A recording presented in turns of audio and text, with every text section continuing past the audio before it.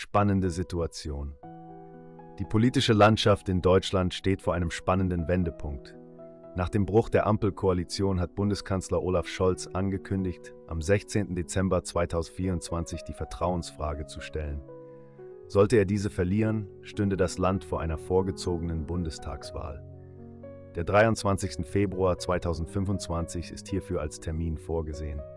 Doch während die Demokratie hier ihren grundlegenden Mechanismus, die Neuwahl, zeigt, gibt es einige Aspekte, die Fragen aufwerfen und möglicherweise auch Herausforderungen für das demokratische Prinzip darstellen. Mehr als zwei Monate Zeit, aber was geschieht bis dahin? Von heute an bis zum Wahltermin im Februar besteht theoretisch noch ausreichend Zeit für interne Abstimmungen, strategische Überlegungen und Koalitionsspekulationen. Das mag zunächst wie Routine in einem politischen System klingen, kann jedoch auch Risiken bergen.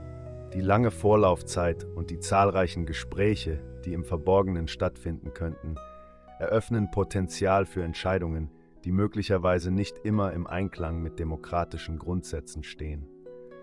Parteigremien und Funktionsträger haben nun die Gelegenheit, ihre Strategien zu verfeinern und Allianzen zu schmieden, die das eigentliche Wahlergebnis bereits im Voraus beeinflussen könnten. Die Koalitionsverhandlungen, ein weiterer langer Prozess. Nach der Wahl sind die Herausforderungen für das politische System noch längst nicht beendet. Ein Wahlergebnis wird zwar das Kräfteverhältnis bestimmen, aber keine sofortige Handlungsfähigkeit der neuen Regierung sicherstellen.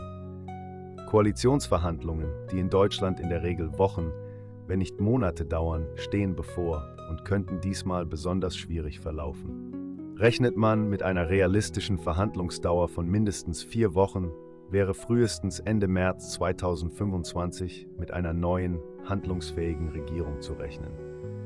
Die Zeit zwischen der Wahl und der Regierungsbildung wird dabei jedoch nicht einfach tatenlos verstreichen.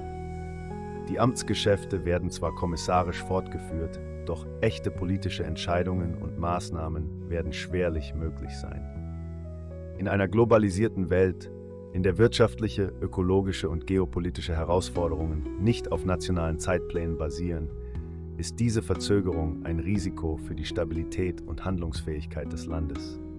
Demokratie und Stabilität ein Balanceakt.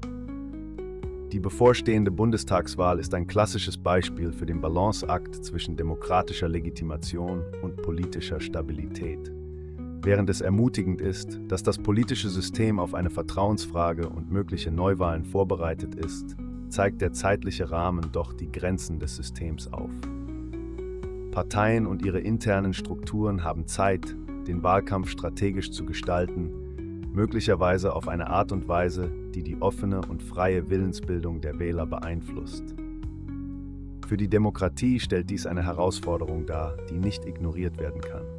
In den kommenden Wochen wird viel diskutiert und verhandelt werden, und die deutsche Bevölkerung wird in dieser Zeit genau beobachten, wie die Parteien sich positionieren und welche Themen im Mittelpunkt stehen. Denn trotz aller strategischer Überlegungen bleibt die Hoffnung, dass am 23. Februar 2025 der Wählerwille im Zentrum steht und nicht die politischen Taktiken, die im Vorfeld entwickelt wurden. Die kommende Wahl ist eine Chance für die demokratische Legitimation und gleichzeitig ein Test für die politische Handlungsfähigkeit in unsicheren Zeiten.